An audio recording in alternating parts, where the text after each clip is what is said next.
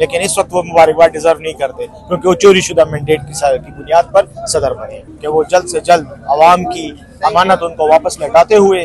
बाइज्जत तरीके से इकतदार छोड़ें और आवाम को उनका मैंडेट दें वरना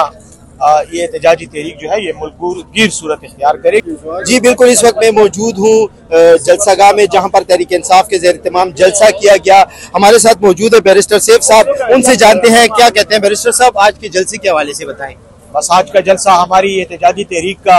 हिस्सा था। उसी सिलसिले में जो इलेक्शन में इंतबात में धांधली हुई है, पाकिस्तान तहरीक इंसाफ के मैंडेट को चोरी करने की जो कोशिश की गई है, उसके हवाले से आज का एहतजाज था और मैं समझता हूँ कि पिशावर के अवाम को, तहरीक इंसाफ के कारकुनों को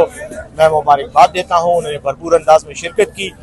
और इस्लामाबाद के अंदर जो चोरी शुदा मैंडेट की हामिल हुकूमत है, उनके लिए हमारा पैगाम है कि वो जल्द से जल्द आवाम की अमानत उनको वापस लौटाते हुए बाइज्जत तरीके से इकतदार छोड़ें और आवाम को उनका मैंडेट दें वरना ये एहतजाजी तहरीक जो है ये मुल्कगीर सूरत इख्तियार करेगी और इन हम उस वक्त तक नहीं आराम से बैठेंगे जब तक हमें अपना हाथ में सदर जरदारी को खैबर पुख्तनख्वा हुकूमत की जानब से मुबारकबाद को इस तरह सदर जरदारी जिस दिन आवाम के हकीकी सदर बनकर असली हालत में जो वोट डाले जाते हैं उनकी बुनियाद पर जिस दिन सदर बनेंगे ज़रूर उनको मुबारकबाद देंगे। लेकिन इस वक्त वो मुबारकबाद डिजर्व नहीं करते क्योंकि वो चोरी शुदा मैंडेट की, बुनियाद पर सदर बने